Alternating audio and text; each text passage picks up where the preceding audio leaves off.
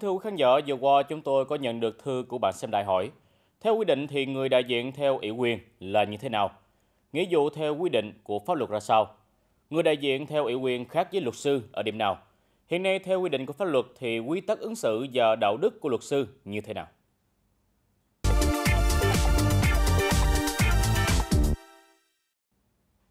Thưa quý vị và các bạn, hiện nay người dân khiếu nại hoặc khởi kiện tham gia tố tụng tại tòa án hoặc các cơ quan hành chính nhà nước, thường thì tự mình thực hiện hoặc ủy quyền cho người đại diện hoặc luật sư đại diện cho mình tham gia tố tụng hoặc tham gia giải quyết các thủ tục hành chính. Tuy nhiên, không ít trường hợp do không phân biệt được người đại diện theo ủy quyền và luật sư dẫn đến sự ngộ nhận người mình ủy quyền, dẫn đến việc phải chấm dứt ủy quyền giữa chừng hoặc dẫn đến tranh chấp về vấn đề ủy quyền. Thực tế trong thời gian qua, trên địa bàn tỉnh Tây Ninh đã xảy ra không ít trường hợp này. Điển hình là một số cá nhân nhận và ký hợp đồng ủy quyền của đương sự không giải thích rõ hoặc cố tình để đương sự hiểu nhầm để đứng ra tham gia tố tụng hoặc tham gia giải quyết vụ việc hành chính. Cụ thể, ngày 1 tháng 2 năm 2023, Đoàn luật sư tỉnh Tây Ninh đã ra thông báo số 17 về việc một số cá nhân không phải là luật sư hoặc không tham gia đoàn luật sư Tây Ninh. Để hiểu rõ hơn theo quy định thì người đại diện theo ủy quyền là như thế nào, nghĩa vụ theo quy định của pháp luật ra sao, người đại diện theo ủy quyền khác với luật sư ở điểm nào. Hiện nay theo quy định của pháp luật thì quy tắc ứng xử và đạo đức của luật sư như thế nào. Chúng tôi đã có cuộc trao đổi cùng luật sư Phan Văn Dĩnh, văn phòng luật sư Phan Dĩnh, đoàn luật sư tỉnh Tây Ninh. Mời quý vị và các bạn cùng theo dõi.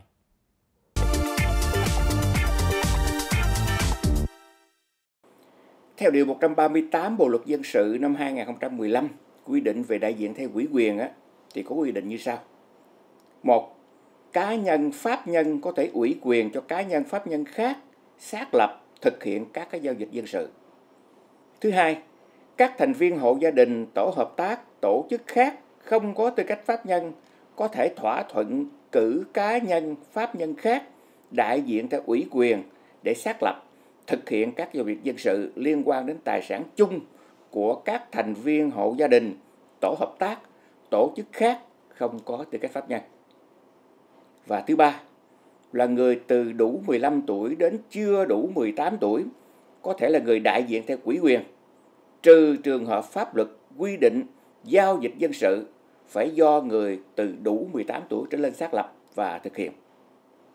Theo đó thì chúng ta thấy cá nhân và pháp nhân có thể quỹ quyền cho cá nhân pháp nhân khác xác lập và thực hiện giao dịch dân sự của mình. Các thành viên hộ gia đình, tổ hợp tác hay tổ chức khác cũng vậy, cũng có thể cử cá nhân hay pháp nhân khác để đại diện cho mình xác lập thực hiện các giao dịch liên quan đến tài sản chung của các thành viên trong hộ, trong tổ hợp tác hoặc trong các tổ chức khác. Về à, nghĩa vụ của người đại diện theo quy định của pháp luật ra sao? Dưới đây thì à, chúng tôi xin giới thiệu một cái mẫu hợp đồng ủy quyền thông dụng nhất. Trong đó, đó có một số chi tiết sau đây. Thí dụ như ở tại điều 5, quy định về nghĩa vụ và quyền của bên B, tức là cái bên nhận đại diện đó. A. Thực hiện công việc quỹ quyền theo quỹ quyền và báo cho bên A, tức là cái bên cử mình làm người đại diện đó về việc thực hiện các công việc đó. B là báo cho người thứ ba trong quan hệ thực hiện quỹ quyền về thời hạn, phạm vi quỹ quyền và việc sửa đổi bổ sung phạm vi quỹ quyền. C là bảo quản, giữ gìn tài liệu và phương tiện được giao để thực hiện việc ủy quyền. D. Giữ bí mật thông tin mà mình biết được trong khi thực hiện cái việc ủy quyền đó. D. Giao lại cho bên A tài sản đã nhận và những lợi ích thu được trong khi thực hiện ủy quyền theo thỏa thuận hoặc theo quy định của pháp luật. Và cuối cùng về mặt nghĩa vụ thì bên nhận ủy quyền phải bồi thường thiệt hại cho do cái vi phạm nghĩa vụ của mình đã thỏa thuận trong hợp đồng. Bên cạnh đó thì bên B tức là bên nhận đại diện đó có một số quyền sau đây. Thứ nhất là yêu cầu bên A cung cấp thông tin, tài liệu và phương tiện cần thiết nhằm thực hiện công việc quỹ quyền. Thứ hai là hưởng thù lao được thanh toán chi phí hợp lý mà mình đã bỏ ra để thực hiện công việc quỹ quyền.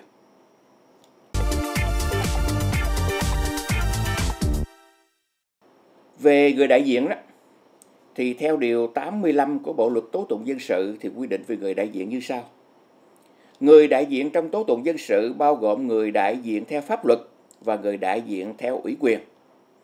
Người đại diện có thể là cá nhân hoặc pháp nhân theo quy định của Bộ luật dân sự. Và điều 138 đại diện theo ủy quyền như phần trên tôi vừa nêu. Tức là cá nhân pháp nhân có thể ủy quyền cho cá nhân pháp nhân khác để xác lập và thực hiện các cái giao dịch dân sự. Do đó có thể thấy rõ là bất cứ ai không cần bằng cấp hay là không cần quá trình đào tạo hay không cần bất cứ một cái ràng buộc nào về chức năng nhiệm vụ thì người đó đều có thể được người khác hoặc tổ chức khác cử làm người đại diện theo quỹ quyền cho họ để thực hiện các cái giao dịch dân sự.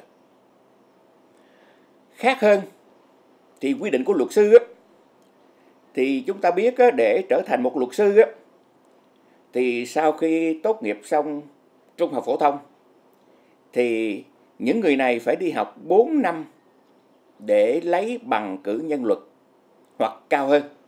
Có thể là thạc sĩ luật hoặc là tiến sĩ luật thì thời gian nó còn cao hơn. Sau đó khi có bằng cử nhân luật hoặc là bằng thạc sĩ luật á, thì người này phải qua một năm học nghề luật sư sau đó, người này sẽ thi khi đạt được kết quả tập sự về luật sư, hành nghề luật sư trong một năm và thi đạt kết quả thì sẽ được cấp chứng chỉ. Sau đó sẽ làm các thủ tục để xin cấp thẻ luật sư và chính thức được mang danh nghĩa là luật sư.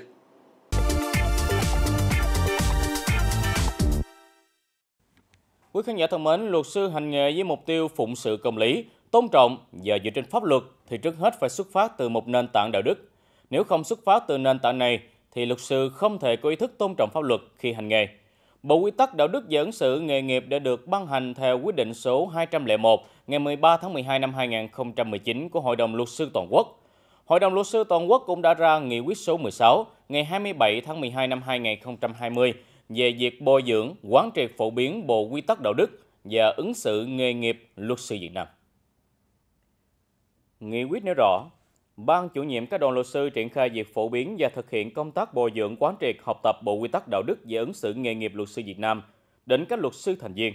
Các luật sư chủ động từ học tập bồi dưỡng và tham gia vào các lớp bồi dưỡng về Bộ Quy tắc Đạo đức và ứng xử nghề nghiệp luật sư Việt Nam do đoàn luật sư, Liên đoàn luật sư Việt Nam hoặc các tổ chức cơ quan khác có liên quan tổ chức.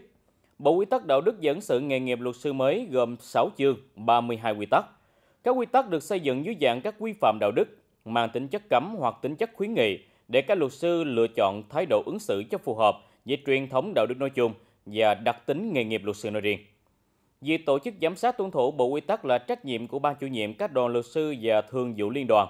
Nhưng ban chủ nhiệm các đoàn luật sư và thường vụ liên đoàn chỉ gồm những cá nhân. Luật sư phải tự mình gương mẫu về tuân thủ đạo đức nghề nghiệp cho xứng với các chức danh mà mình đảm nhiệm. Nhìn chung, nội dung bộ quy tắc với số lượng như thế không thể bao quát và dự liệu điều chỉnh hết các tình huống phát sinh trong hành nghề và sinh hoạt đời sống. Bộ quy tắc chỉ đưa ra những chuẩn mực chung nhất của đạo đức nghề nghiệp làm khuôn mẫu cho việc áp dụng.